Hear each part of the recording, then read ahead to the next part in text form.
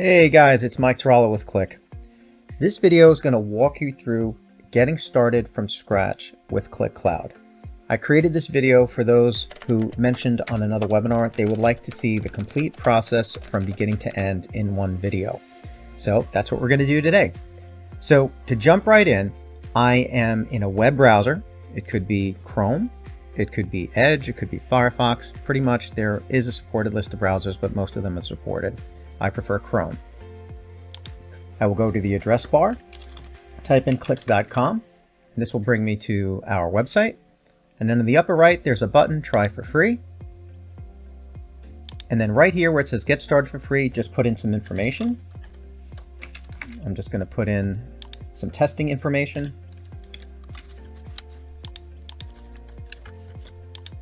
And then click activate my trial. Then you're just going to go to your inbox. You'll receive an activation email. There's a button, let's get started. And now you're going to register your account with your tenant. So I'm just going to create a password here. Check that you have read and accept the terms and conditions and click create account. The next few steps will allow you to choose your region. It will automatically identify the region you're in, but depending on where the region map shows you, you can choose different regions. Here I'm in the Americas, USA. I'm going to choose that and click Finish.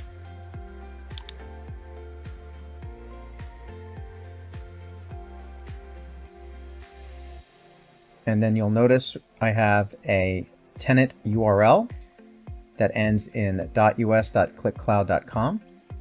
There is a question here. Please choose your response. New to Qlik, no Qlik, new to Qlik Cloud, experience Qlik Cloud. What are you trying to achieve? And select the appropriate answer. And then click submit. And within a matter of minutes, you now have a 30-day trial of Qlik Cloud.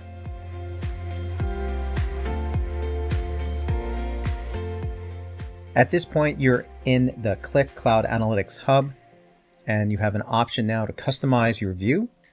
You have a left menu pane, which has a number of different categories for you to select. I will go through those momentarily. You have a section called How Do I, which are brief educational instructional videos, as well as sample demonstration apps. Now, usually at this point, if you're like me, you want to get started right away and create something and then probably come back to this stuff. Just like if I buy a video game, I put it in and I start playing it. I don't even bother looking at the manual. I just get started. And then when I have questions, I come back. So that's what we're going to do now.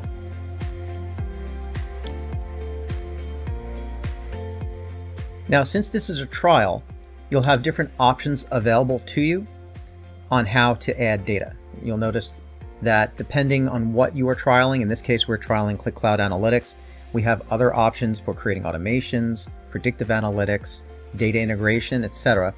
Uh, however, the trial doesn't offer that. You'll notice through the what we call the hamburger menu, you have your management console and analytics services. And I'll also walk you through these particular menu options as well.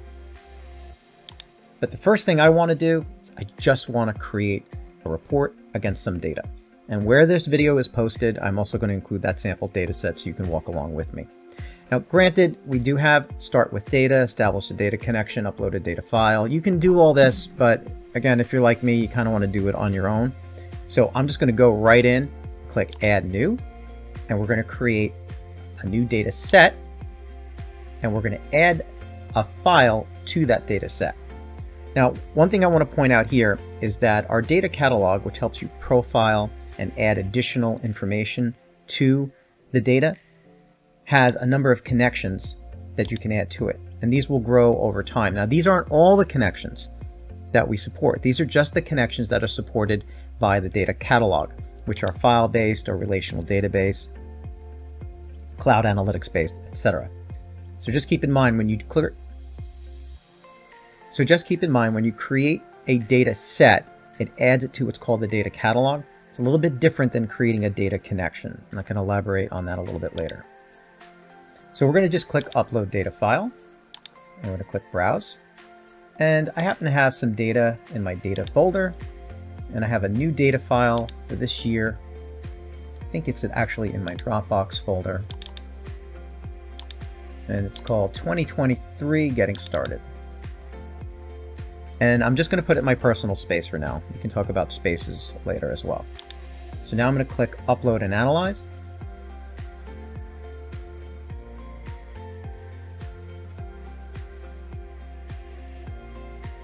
Now, when you upload and analyze, it actually does the data preparation and just brings you right into the interface that shows you the tables that you uploaded. Okay, if you're not familiar with this or depending on your data table, this could be a little confusing to you because you're not possibly reading all the different steps that are available. This is just a visual display of the data in the file. In my Excel file, I happen to have two tabs, one with my sales data and another with a security table. And the security table is there to demonstrate uh, something called section access or dynamic data reduction, row level security. We can talk about that in a future video. But at this point here, I just want this particular table.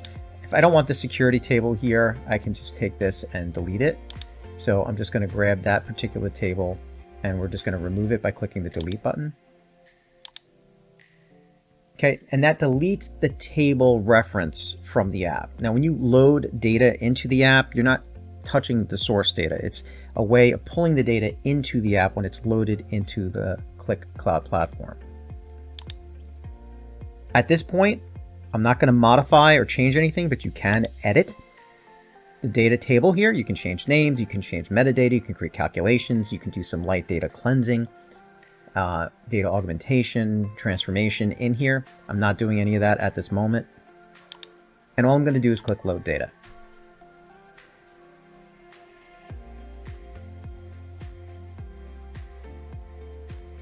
Now the data is loaded, we can click go to sheet. And now we're presented with a few options. You can explore the data with Insight Advisor. You could ask a question utilizing the Insight Advisor search or natural language search bar, and you can create new analytics. So as you click each one of these, a different option will show. So for example, if I just say, have a question, it puts you up here to the top where you can ask a question. So this creates a logical business model that helps train Insight Advisor when you first load the data. That can also be updated and modified to make Insight Advisor smarter. We'll get all into that a little bit later.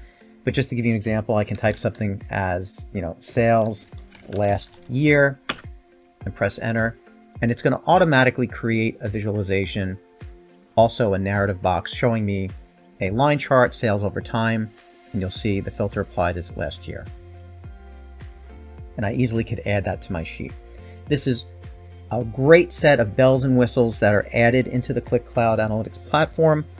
Touch on those in future videos. Right now, all I'm going to do here is uh, just click cancel and then show you that when you're in Insight Advisor, you have the ability to select fields, and you also have the ability to pick analysis types where it helps guide you by providing you the measures and the dimensions that you might want to display as metrics or visualizations within your sheets or dashboards.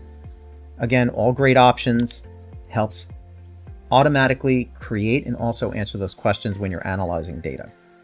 I do realize there is a lot within the Qlik Cloud Analytics platform, and we're going to cover all of those bits, tips and tricks, and get you through that. But right now, we're just going to get to the basics. So I'm going to turn off Insight Advisor, and we're going to click Create New Analytics. This will bring you to what we refer to as our simplified authoring experience, as compared to the advanced options. Again, talk about that later but this will provide you with a list of your fields and tables, which are classified with your um, metadata for strings or, or, numerics or dates or uh, geographies, etc. You have a table viewer so you can inspect the data, and then you have your visualization options. If you select a field, it'll actually show you the values that you can select and filter on if you wanted to use those for any particular reason while you're creating your dashboard. So we're just going to create a simple dashboard by searching for the sales measure. And I can just drag this directly on top of the chart placeholder here. And it's automatically going to create what we call a KPI, Key Performance Indicator. This is showing the total sales that are in the data file that we uploaded. Now, if I wanted to add a dimension, such as, let's say, our, um, see if we have country in here. I believe we do. So there's a country code. So let's just grab, oh, there it is right here, 2020, 23 country. Let's grab that and put that as a dimension. And it automatically recognizes that as a field for geography and it creates a map. Now, if you wanted to change these auto chart features right now, it's in kind of like the auto chart mode, but you can change this to different chart looks and feels and orientations if you wanted to do that, but it will automatically select the best chart for you.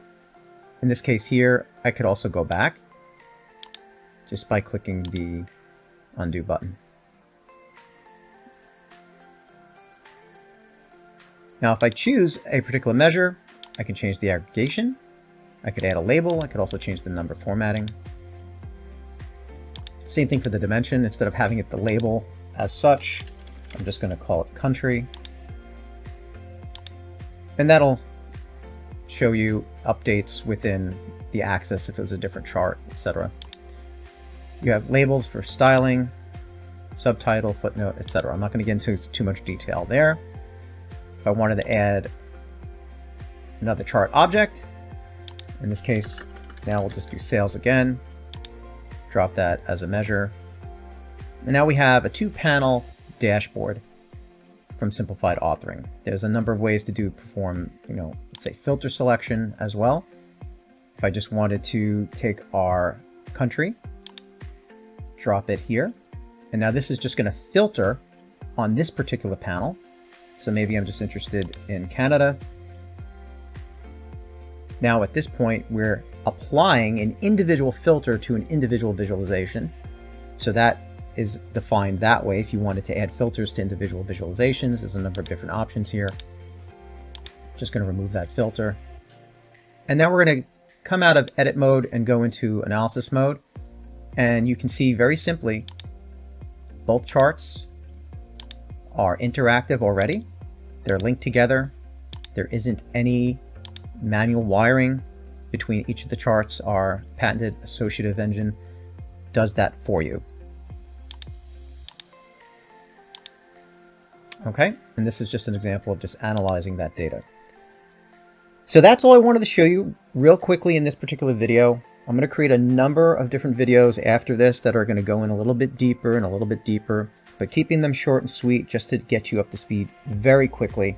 Instead of having to, let's say, jump around to different resources, this video will be self-contained in a series that'll help guide you through some of the most basic steps and provide additional tips and tricks to help you get started. Okay guys, thanks for your time, and I'll see you on the next video.